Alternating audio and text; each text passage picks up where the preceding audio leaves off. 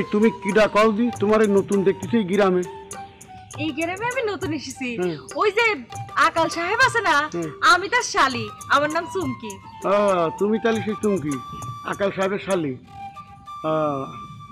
আকাল সাহেব মানে? ওই যে আকাল চিনতে পারতেছেন না ওই যে জামাল সর্দারের ছেলে ছোটখাটো করে লোকটা চিনতে পারছেন? হ্যাঁ হ্যাঁ হ্যাঁ হ্যাঁ। এইবার চিনতে পারিছি ভালো করে চিনতে পারিছি। আমি হলাম আমার নাম চেতন আলী। হ্যাঁ হ্যাঁ, আমি হলাম ইউনিয়ন কাউন্সিলের মানে সম্মানিত কাউন্সিলর। আমি মেলা ভোটে পাশ করেছি। মানে ওয়ার্ডের থেকে পাশ করলেও আমি চেয়ারম্যান হিসেবে কলাম ভোট তিন দিন বেশি পাইছি। যার জন্য মাঝে মাঝে আমি প্যানেল চেয়ারম্যান হিসেবে কাজ করি। অনেকে আমার চেয়ারম্যানও করে থাকে। ব্যাপারটা তো অনেক মজা হুম, তাই ওই যার কথা কইলে আকাল ও ভালো ছেলে। আমার চাচা ছাড়া মোটে কথা কয় না। কি যে সম্মান করে তা বলে কই তোমার বুঝতে পারব না। ও তো তাইলে পরে আপনারা যে দুলা ভাইয়ের বিয়ের সময় দেখলাম না কিসের জন্যে? ও হয়তো কি তখন আমি খুব বিজি ছিলাম। ও নেওয়ার জন্য মেলা চেষ্টা করছে। পারে তো আমার কোলে করে উঠে নিয়ে যায় এরকম একটা ভাব। তা যাতে পারিনি বিজি ছিলাম আর কি। তো একটা ব্যাপার হয়েছে কি চিন্তার বিষয় হচ্ছে বিয়ে তো করেছে আকাল আর বউ রাখতে পারলি হয়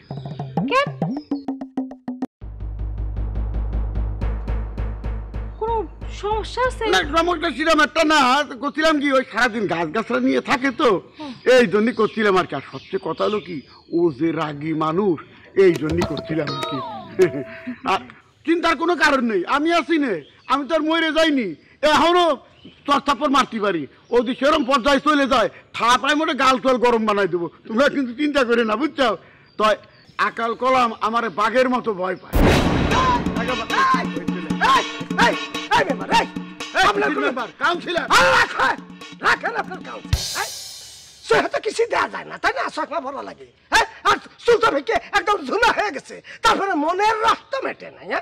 যাই না সুন্দরী একটা মেয়ে দেখা গেছে সাথে সাথে দাঁড়ায় পড়েছেন ঘণ্টার পর ঘণ্টা দাঁড়ায় তার সাথে কথা হচ্ছে। কিসের কথা? কিসের কথা? ওরা গ্রামে নতুন এই জন্য জিজ্ঞেস করছি রাম পরিচয় জিজ্ঞেস করছি কোনো কিছু দেখা লাগবে না কোনো কিছু দেখা লাগবে না। সেনা আছে। সেনা নেই আমার ডাবের বিষয় নিয়ে গেছিলাম। আমার টিনের উপর ঢিল পড়েছে।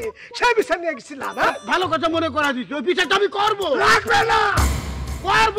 আকালের কোনো বিচার লাগবে না। ওই বিচার আমার বিচার আমি করব হ্যাঁ? শুধু চোখটা ভালো করতে হবে মনটা ভালো করতে হবে।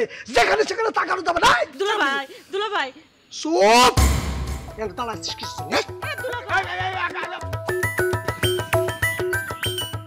হ্যাঁ? শালা ফাঁসিল দিয়ে হ্যাঁ? গ্রামের সম্মানী একটা মেহমান তারা এইভাবে টানতে টানতে অপদস্থ করে নিয়ে গেল। চিন্তা করিলাম, ডক মতোর বিচারটা করব ডাবের বিচার। না, নিজের পায়ে নিজে কুড়াল মারলো। বিচার তো দূরের কথা, কিছুই করব না আর যা খুশি তাই কয়ে গেল ফাজিল কোনে